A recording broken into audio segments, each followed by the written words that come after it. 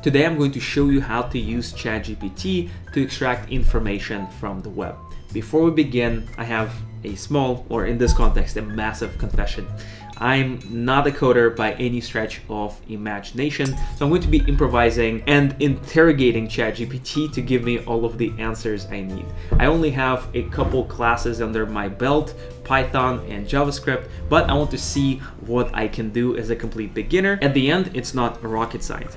We're going to be using GPT-4 with browsing enabled, and this requires a premium plan, which honestly is my absolute favorite subscription out of everything I have. And if you do have ChatGPT Plus, you can go to settings over here, click on beta features, and then here you have web browsing that's going to be enabled. So let's go ahead and start our web scraping project. I'm going to be scraping this page. This is a page that contains a bunch of different automations. Each automation has uh, the title of the automation, the URL, and how much time it saves. So I'm going to copy this URL and come back to our ChatGPT prompt over here. And let's do some prompt engineering. You're my coding assistant. Know that I'm a beginner, so I want to build a program to extract a list from the following page.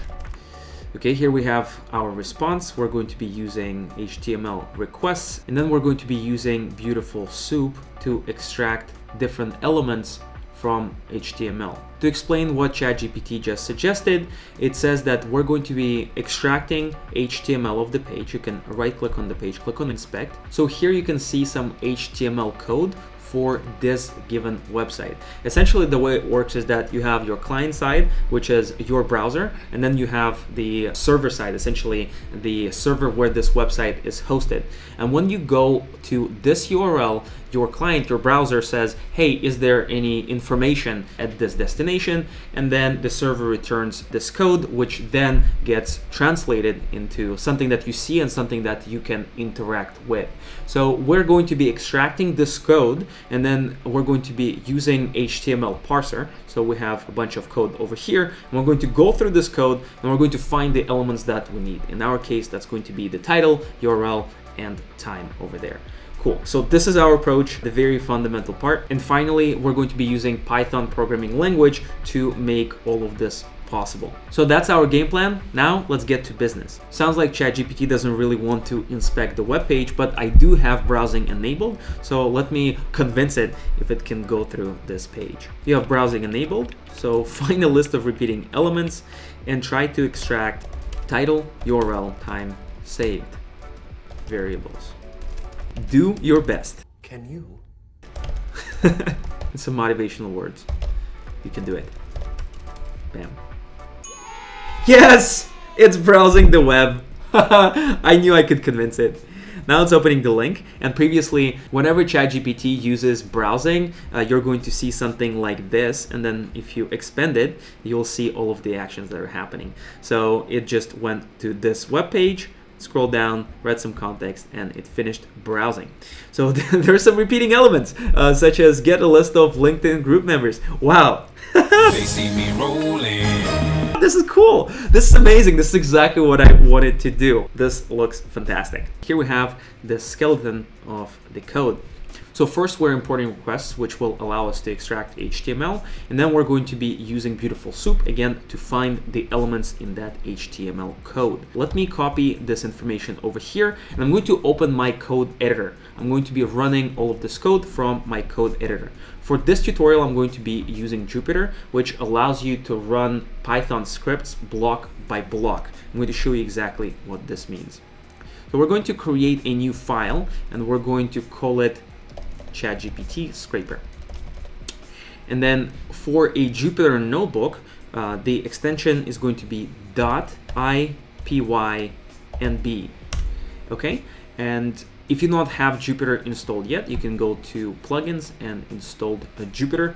It's obviously misspelled, so take note of that.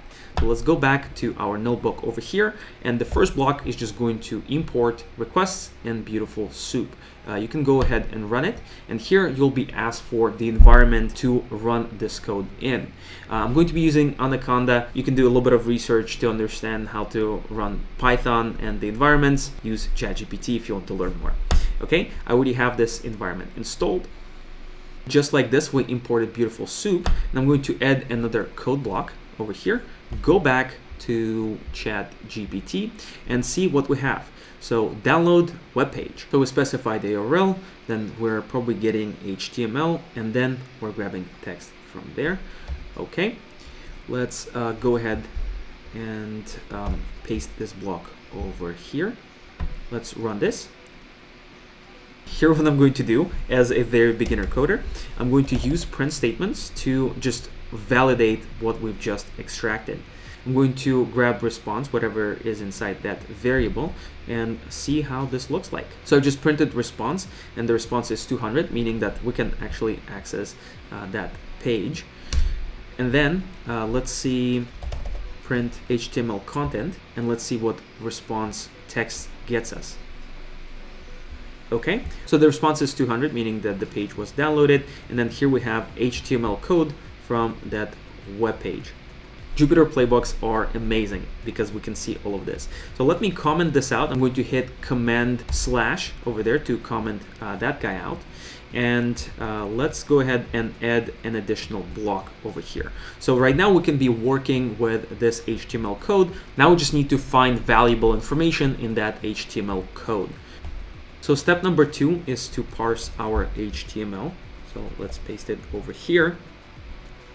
Then we're using a beautiful soup class for parsing. We're sending our web pages HTML over here, and then we're going to be using HTML parser from beautiful soup to extract some additional information. And this guy is called uh, soup. Cool. Let's see what's next. Okay, for step three, we need to identify tags and attributes of the information that we want to collect. Uh, this is a good step. I'm just going to add an additional code block, have it as a comment over here, and then it has some explanation. Here we have three different variables that we're trying to extract. We have uh, the title tags, we have the URL tags, and time saved tags. I'm going to also copy it uh, to our coding block over there and uh, let's see what we have. So we're using uh, soup and we're going to find all h3 uh, elements. And although I'm a good AI negotiator ChatGPT still tells me to inspect elements to make sure that they are correct.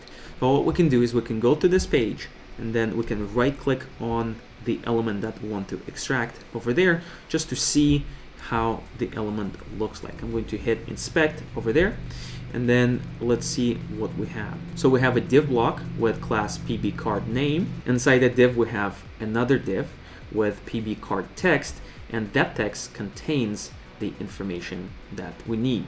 And when we scroll down a little bit below, here we have another div that actually contains the full name. It has class pb card text and hidden. And just because I'm a tiny bit lazy, I'm going to find the block above that contains all of the information we need. I'm going to copy it and I'm going to paste it to ChatGPT something went wrong with ChatGPT, so I needed to regenerate the answers. And uh, ChatGPT is non-deterministic, meaning that if you ask the exact same thing multiple times, it's going to come up with different answers. Uh, so far, this code looks very similar. Uh, we just have a couple things that we want to take a look at make sure that all of the names are correct. So for example, here we need to find all the blocks representing playbooks. Playbooks are these uh, blocks over there. So what I'm going to do is I'm going to copy this code this time, go back here and replace that step three with our new approach. And for the class, I want to paste uh, PB card. And then uh, let's use our favorite print statements to see if this stuff looks good. Uh, okay, so uh, here we'll, pro we'll probably have the array of blocks like this. So I'm going to have uh, just the first uh, one of them, that I want to extract. So again, uh, here we have multiple blocks. I want to see uh, what's up in the first one. The area's soup is not defined. Here it is defined, so I just need to run that block first, of course, forgot to run it. Then I'm gonna run this guy one more time. Here it says list index is out of range. Maybe we can get a list. Uh, let's try running this guy one more time.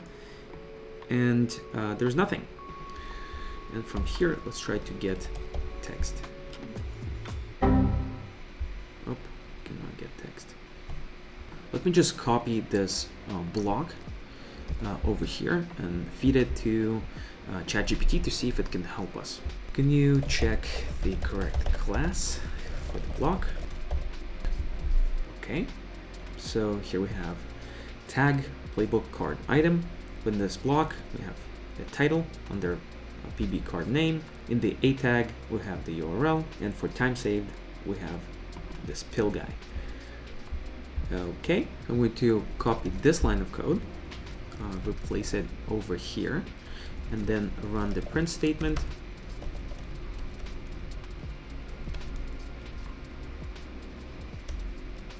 Blocks. Okay, success. Now we have everything that that block contains. So that step is perfect. And then finally, we want to extract each one of the three elements. So uh, we are creating uh, here uh, a list. It's going to be called playbooks. So let me uh, do that. And then uh, we are saying, hey, for each one of those list items, uh, go through the block. This is the for loop. So if there are a thousand uh, playbook cards, elements like this, then that's how many times it's going to run uh, this code individually. So uh, there we have it. Okay, I'm going to copy this guy, uh, paste it over here, and let's try to deconstruct it. So first, we're going to get the title div, and inside that block right there, so block is the name. Inside that code block, we're going to find the playbook card name, and then we're going to add the title. And within that element, we're going to find text, which is the title. Uh, then we're going to do a similar thing for the URL. We're getting the href from this element. And then finally, we're grabbing that class pill to get our time saved. So time saved. And then when we've run through each one of those blocks, we're going to have everything nicely generated. So we're going to have a list of items and each one of the items is going to have the title, the URL, and time saved. Uh, this is perfect. AI, love your coding skills. This is a good beginning of my plan to dominate the human race. So by then we've created a list with all of the information extracted and here we have the loop that will print each one of the list items. I'm going to edit as a separate code block over here. So for each one of the list items, for each one of the playbooks, it's going to print it once. Uh, let's go ahead and execute this code. I'm going to uh, define uh, this for loop right there and it just went through everything and then I'm going to print everything. All right, so there we have it. There is uh, our list and there are unique titles uh, over there. So what do you do from here? What do you do with this data? Well, uh, you need to create a CSV, a JSON file, or a place where you want to store this. And that's why we're going to go back to uh, ChatGPT and ask to create a function to store this as a CSV. I want to store this information as a CSV.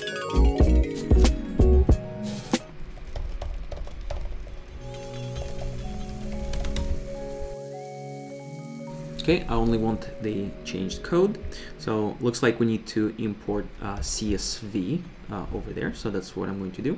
I can even import it at the very top over here and just rerun this coding block. That's why I like Jupyter notebooks. And then finally, we'll add a new code block that will help us uh, save this list from above as a separate file.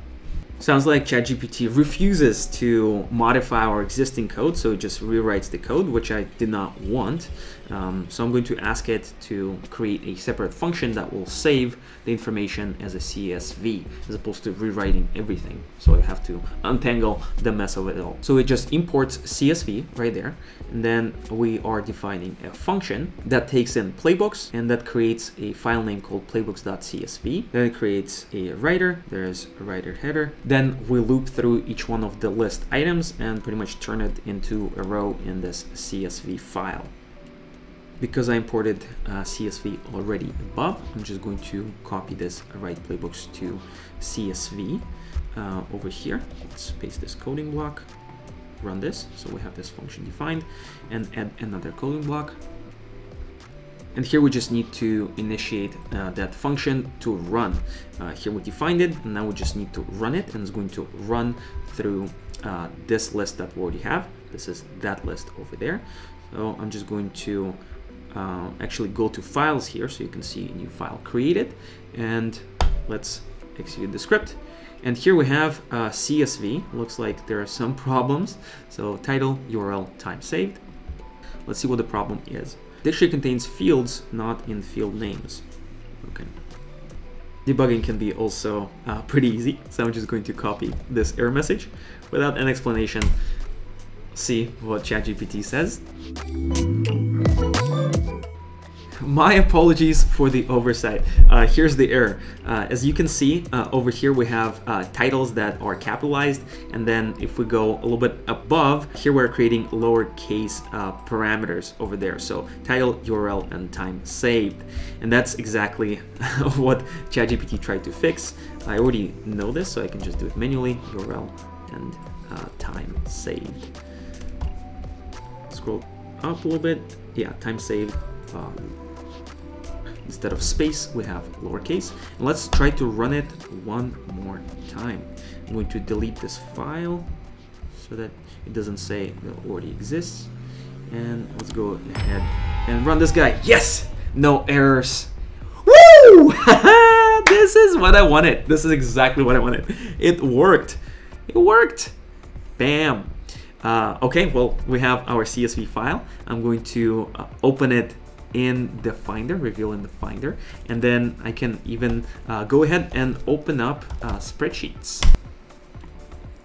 Import, upload.